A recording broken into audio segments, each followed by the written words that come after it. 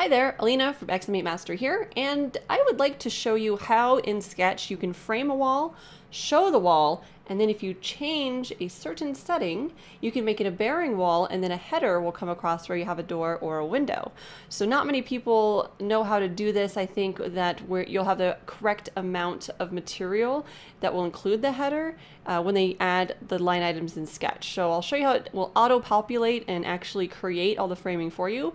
And then if you have a bearing wall, how that's going to work so you get the correct material. So let's go take a look.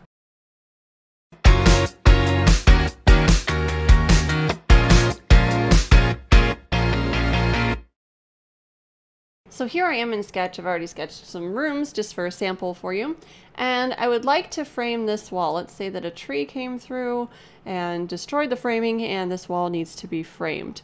What I can do is click on the wall itself and I'm going to click on the whole wall, not just this one piece because I can hover and click on just a part of the wall like this. I'm actually going to click on the whole wall is what I would like to do and select both. Then what I'm going to do is go into the properties of that wall just like this and drop them down. Now the properties, they have different settings. So if we go to the construction part, we can drop down the list next to wall and I can make it a framed wall. And then I can set up all the specifics according to the actual specifications of what I need for that wall.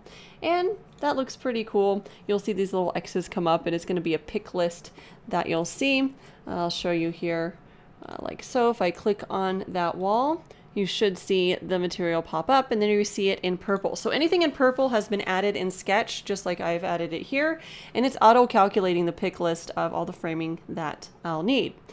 Now let's go ahead and look at that in 3D and see what does that what does that look like? Is it showing that there's a header or not? Well, we're going to go to View and we're going to go to Framing. That needs to be checked off.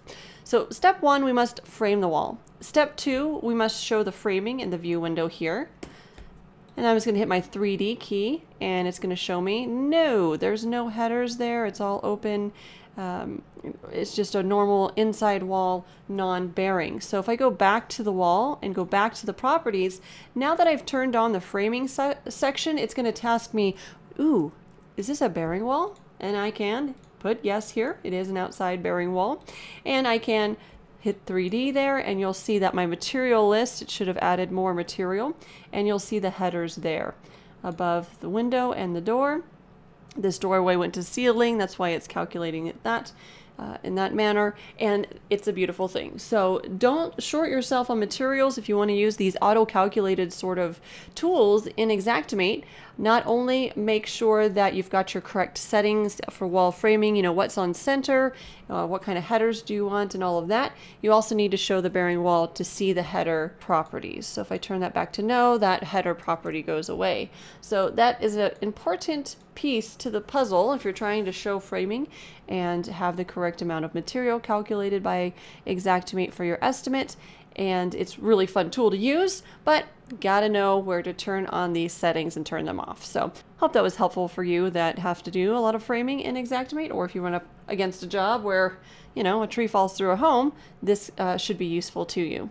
My name is Alina Wilson with XM8 Mastery. For more information on what I do, you can go to xm8mastery.com.